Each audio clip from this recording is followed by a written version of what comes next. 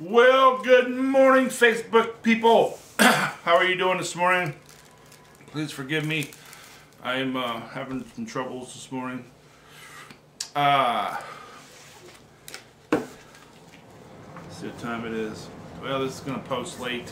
Sorry about that. Nothing I can do about it. Um, anyway, uh, today we're going to be doing Advent, starting of Advent season, and uh, as I was um, Advent runs usually the Sunday after Thanksgiving is the first Sunday, and sometimes there's only four Sundays.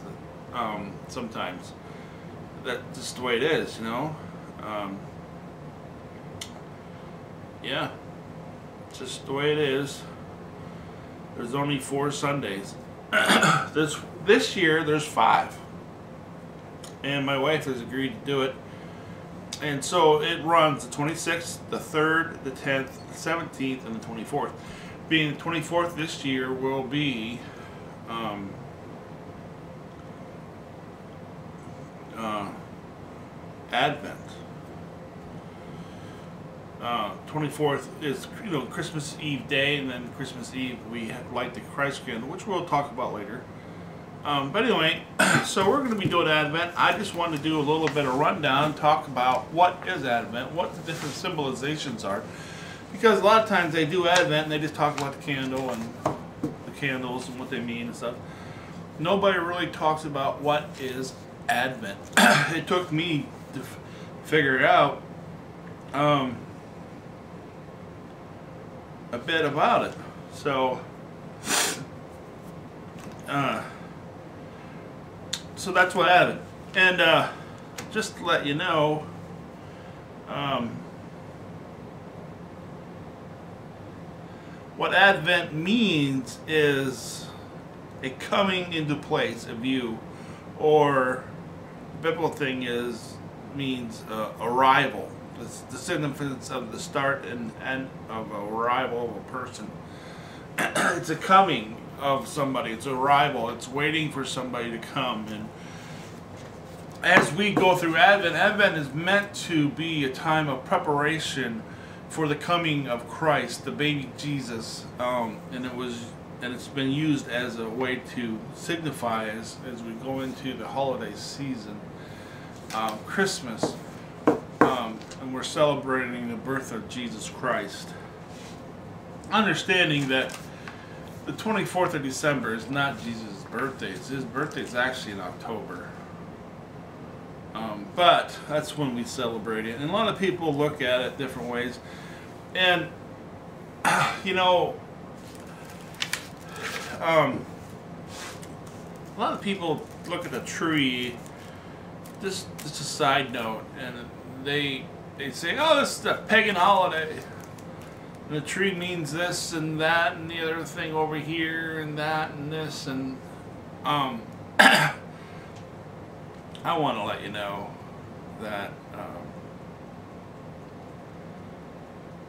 the uh, Christmas tree is an evergreen which speaks of um,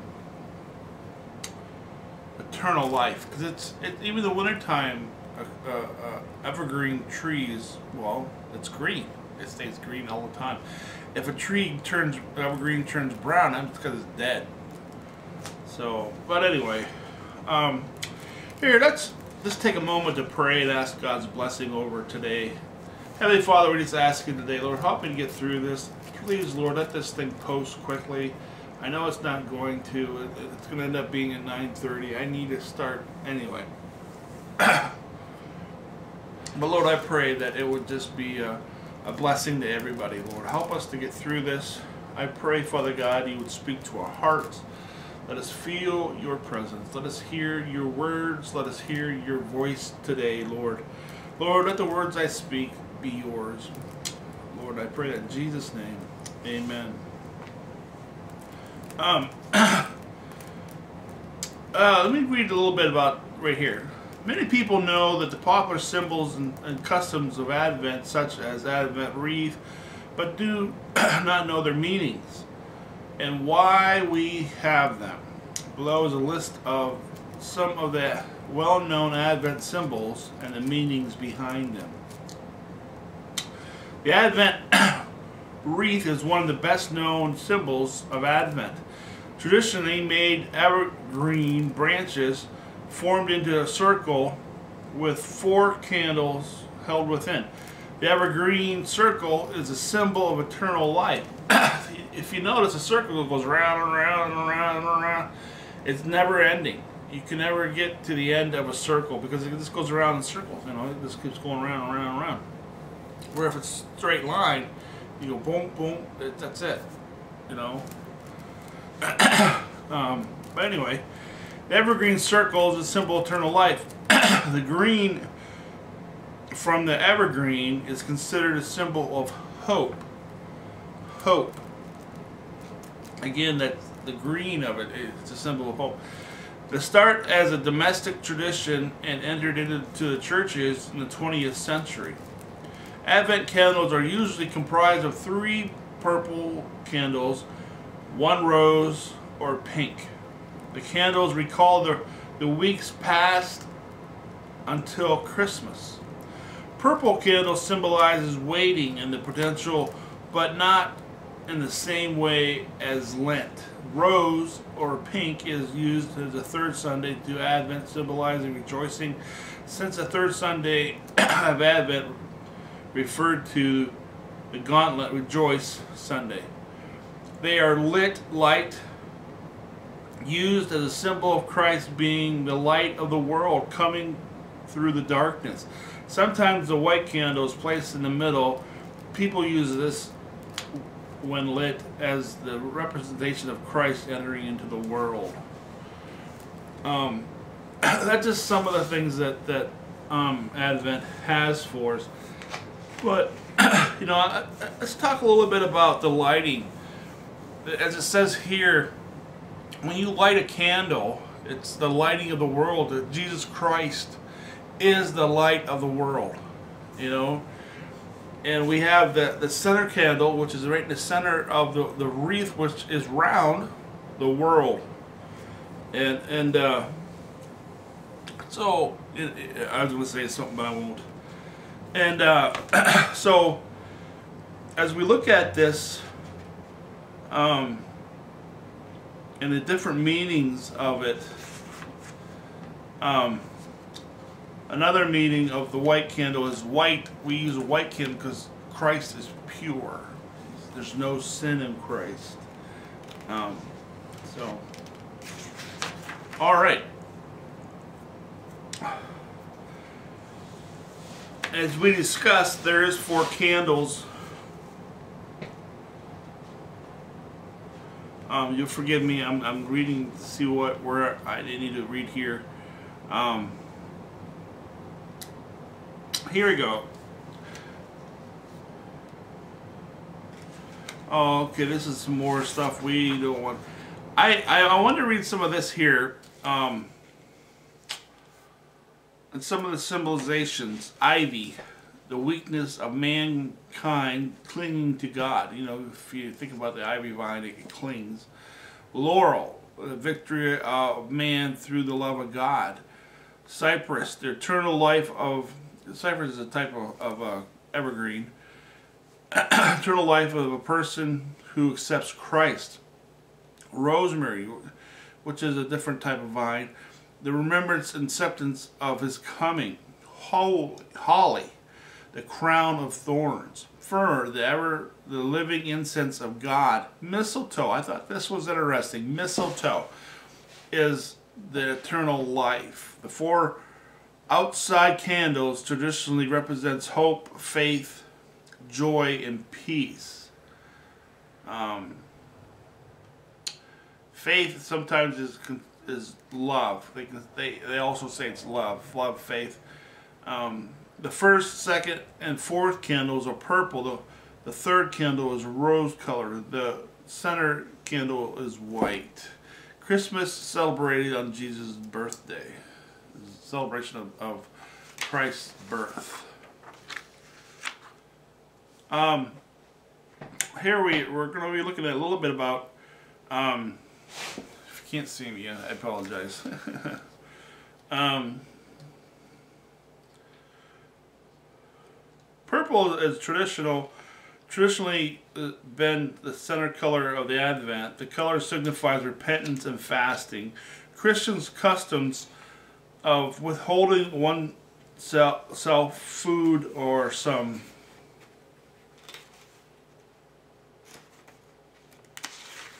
of other desires practice where where in Christmas Christians demonstrate devotion to God and sanctify their hearts and body. Purple symbolizes the so sober and reflective nature that of this period. As Christians prepare to commemorate the birth of Christ, purple is also a literature color for Lent, which likewise incorporates the times and computations of, of repentance, of spiritual preparation. The use of purple during both Lent, and Lent underscores the parallel themes of preparation and spiritual reflect, reflection. Whew. Okay, purple is has historically been associated with royalty of kingship. Purple Advent candle also uh, symbolizes the supremacy of the kingship of Christ, who is recognized as the King of Kings. So purple in this use uh, illustrates the expectations of and welcoming of the King celebrated during Advent. The following candles of the Advent wreath are traditionally purple. The first candle, known as a prophecy candle, the candle of hope. The second candle is the Bethlehem candle, or the candle of peace. The fourth candle, called the angel candle, is a candle of love. All right, that's so. As we look at these, I mean, even um, also, uh, you know, if you look at some of the prophecies, there are 333 prophecies that Jesus Christ coming fulfilled. Now, I say that maybe it's fulfilled and died on the cross. Anyway, the prophecies that Jesus fulfilled when he was here on earth, there's no way that that was done by accident. Do you get that? There's no way that it was done by accident. The probable probability of fulfilling 333 prophecies is it can't be done unless you've planned it out and you've done everything to the T to the way Christ would have you do it. And uh,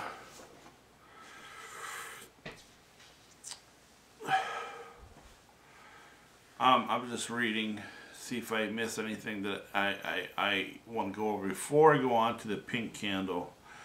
Um, here's a set. There's a, a, paragraph. And you have ever looked at the Advent wreath and wondered why there are three candles, three different colors candles. The Advent, the three Advent candle per colors, purple, pink, and white, have deep spiritual symbolism and are representative of the faithful and anticipation of believers partaking ready their hearts and minds for the birth of the second coming of Christ. So that just gives us a little bit of understanding of Advent and what it's for, which is the preparation of our heart for the upcoming Christ, coming of Christ. um, Christians use a wreath typically consisting of evergreen branches decorated in five candles and symbolizing the several sacred phases, preparations, circular shape, and the wreath represent eternal and unending cycle of God's love. It is it is usually made of evergreen branches which symbolizes enduring life and hope brought by Jesus Christ. These candles are traditionally lit on each of the four Sundays of Advent, starting the fourth, on the fourth Sunday before Christ. Um, some some say five. Uh, some will use five because they'll light the Christ candle. Um, uh, anyway. In years past, I've lit four of them. Um, I have a hard time with going to church on Christmas because, not because I don't feel you should go to church on Christmas, but I feel that um, that Christmas is a time for family. And that rushing around, getting ready to go to church, or having your kids whining about wanting to open up, um, that just makes it hard. Anyway, so we're going to go on to the pink candle. The third Advent candle color is pink. The pink called the shepherd's candle or the candle of joy. Um, that's why. Okay, yep. You know, the, there's the prophecy of Bethel and the angel candle, the hope, peace, and love. And now there's joy, which is the third Sunday. Um, the third gauntlet comes from the Latin word rejoice, and it signifies the sense of joy and anticipation as Christmas approaches. Pink represents joy, the triumph, and the and this candle exhibits the traditions of the season of Advent away from the repentance and celebration of the Gauntlet Sunday. A pink candle is typically lit in the wreath to represent the joy and, and nearness of the birth of Jesus Christ.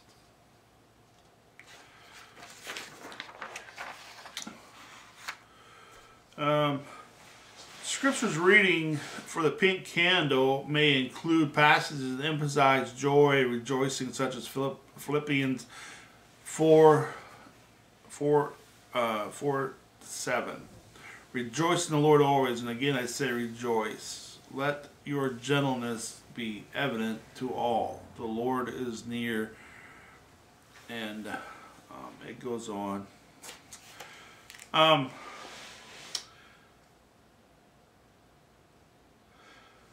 the white candle um, is a Christ candle. Uh, it's a fifth candle um, placed in the center of the wreath as the white candle. The white candle is lit on the fourth Sunday of Advent, representing the completion of the fulfillment of Advent season as it it as it transitions. Actually, they say the fourth Sunday, but it's actually the fifth Sunday or Christmas Eve. Because, as I said, sometimes there's only four Sundays, so they'll do a. They do the four Sundays, and then they'll do it, light it on the Christmas Eve, which is what we're going to do this year.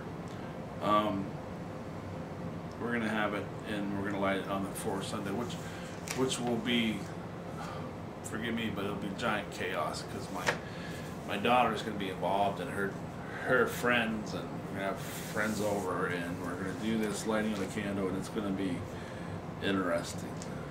So it signifies the, the culmination of the Advent journey and the anticipation of Christ's birth. The white is the Advent candle's color symbolizing purity, light, restoration, and holiness. White is also the representation of victory. I didn't know that.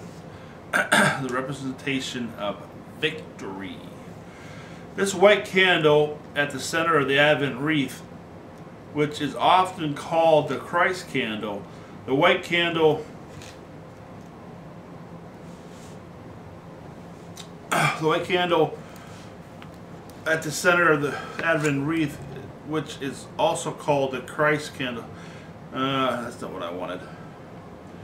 Uh, on Christmas Eve or Christmas Day is represented the arrival of Christ, who is seen as the light of the world and an embodiment of purity and holiness. Christ Jesus Christ is the righteousness, immaculate, pure Savior. He is the light that comes in the darkness to deprive the world. He is often described in the Bible wearing bright, profoundly white robes like snow, shining with the brightness of the light. Daniel 7 is such an account.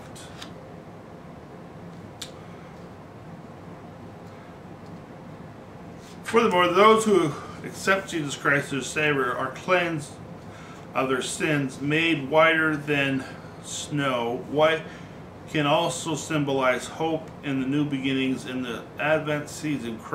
As Christians, prepare for the birth of Jesus Christ in the white candle. can serve as a reminder of the hope and promise of, of Christ's coming, bringing, ushering in a new era, salvation and redemption.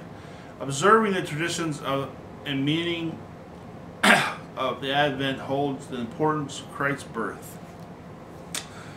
So, anyway, um, and as we look through the four weeks, Advent, the the first candle is purple, which is a hope. Uh, the second candle is peace. The third candle is joy, and the fourth candle is love and with Christ. Um, and if we go back, we can find the other ones and or which this year I think we're going to do a combination of because the first candle is Bethlehem oh no prophecy the prophecy candle and hope and if we can understand that the prophecies were given to give hope to us, the second candle is peace, the Bethlehem candle, which is where Christ was born at. Bethlehem, and there's significance of Bethlehem, um, city of David, if you will. Uh, the third week is joy, which is um, uh, see the shepherd's candle, which the shepherds were in the in the field and they the star came hey come see christ and it's inviting everybody to come and the fourth candle is love. Uh, also the angel candle which the angel appeared to the shepherds and they told them to come. And the angel also appeared to mary and uh, came to mary and told mary of what's going to happen. And then we have the fourth candle or the fifth candle which is the Christ candle, which is the purity of Christ. And uh, so that, all that is such an awesome thing for us. And uh, I'm going to end there and uh, say, you know, hey, we need to keep our people in prayer. Um, forgive me today for not praying for everybody like I normally do. Um, but keep them in prayer. Um, Kim and her family and Debbie and her family. Please be praying for my family. My wife, um, pray for my stepdaughter Alex, which she needs lots of prayer. She's uh, she's struggling, um, and uh, I guess we should be praying for her anyway. But anyway, you know, um, so I hope this was enlightful for you. Um, I should be looking at my phone that I was looking at something. And uh, um, for you, and I hope you will tune in into the coming weeks of uh, Advent with us as we look into the different weeks of Advent and uh, how we're going to do this. And uh, I'm excited for what God's going to be doing and how He's going to work and move in our lives. So let's just close in a word of prayer and uh, ask the Lord's blessing upon us. I'll also be praying for me because this week I want to get my front porch done and I'm going to need lots of strength and good weather. Heavenly Father, we just come to you now, Lord. We ask you to touch us and help us. Encourage us, Lord. Let us feel your presence. Let us hear your words. Lord, I pray today, Lord, that this would touch lives. Lord, I pray that we'd have lots and lots and lots of viewers, Lord. And I know that people were expecting us to have this on here at a certain time and we didn't do it. Lord, help us to do a better job. I pray right now, Father God, you'd speak to us. Speak to us. Speak to our hearts. Lord, heal those that need healing. Lord, and touch our nation, Lord. Our nation needs lots of love and tenderness. I pray all that in Jesus' name. Amen. Hey, this is Pastor John saying, hoo hoo, it's time to sign off. You have a great Sunday, and I look forward to the coming weeks. Please remember about Wednesday, we will be having our uh, uh, prayer at 6 o'clock. Hopefully, I have that on at the right time. All right, hey, have a great day. Bye.